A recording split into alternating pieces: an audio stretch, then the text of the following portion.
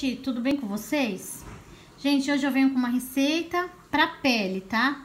Essas receitinhas caseiras, gente, que a gente faz pra pele, dá resultado, tá? Eu tenho feito, todas eu testo no meu rosto, testo também em outras pessoas, tá? E tem feito muito efeito. Então, hoje eu venho trazer uma maravilha de um hidratante natural para você fazer todos os dias à noite na sua pele. Se você precisar, é, limpar bem a sua pele e passar esse hidratante à noite, uma camada, uma camada bem fininha no seu rosto, é maravilhoso, tá bom? E depois no outro dia de manhã, lava o seu rosto, filtro solar. Essa é a dica, tá bom? Vamos lá, o que, que a gente vai precisar para esse hidratante natural? Olha, gente, a gente tem aqui leite de coco, ó. Vou mexer o meu aqui para ficar bem grossinho aqui pra gente mostrar pra vocês, ó. A gente vai precisar, gente, a gente, como a gente vai fazer esse hidratante aqui todos os dias, é bem pouquinho, tá?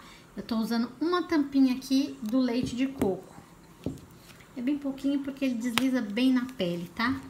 Aí a gente vai colocar um pouquinho de soro fisiológico, só pra quantidade pra deixar uma pastinha. E por último, gente, a gente vai colocar açafrão da terra, que é divino pra pele, tá? Ele é antioxidante, ele deixa a pele bem viçosa, tá? Deixa um brilho na pele bonito. Faz uma renovação celular também. Ele dá, ele tira manchas também da pele, tá? Ó. Aí você vai fazer essa pastinha aqui, ó.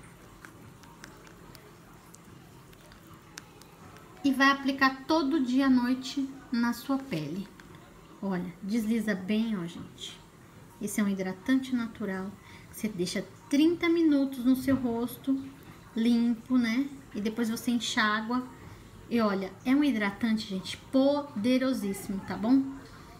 Então, se você gostou desse tipo de vídeo hoje, dê o seu joinha, se inscreva no meu canal, que eu volto, gente, mostrando coisinha fácil e boa pra vocês.